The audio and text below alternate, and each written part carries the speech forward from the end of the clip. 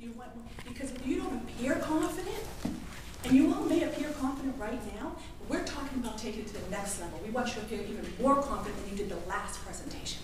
And I'm in a work in progress all with you, and every professional speaker is, except for Jeanne Robertson. Anybody see her? She's my role model. I just saw her on YouTube last night, so she's on my, on my mind. She's on my vision board with my face cut out on her body.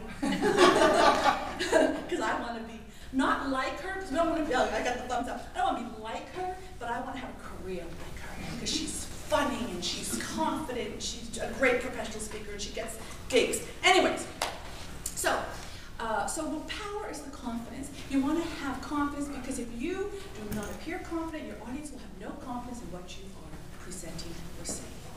And energy, we want to have energy because you are contagious.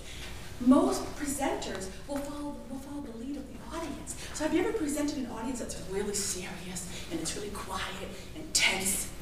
Well, you have the power to change that energy, and a lot of us don't realize that. Maybe you do, maybe you don't, maybe you don't know how much you can change it. So if you want your audience to be energetic and excited about what you are presenting, then you need to have that energy, because your audience will only be as excited as you are. And then we have passion. How many of you are not passionate about what you speak about?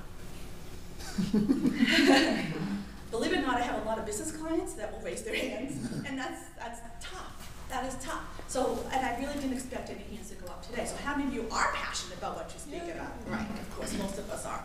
And that's wonderful. But what happens is most of us hold back.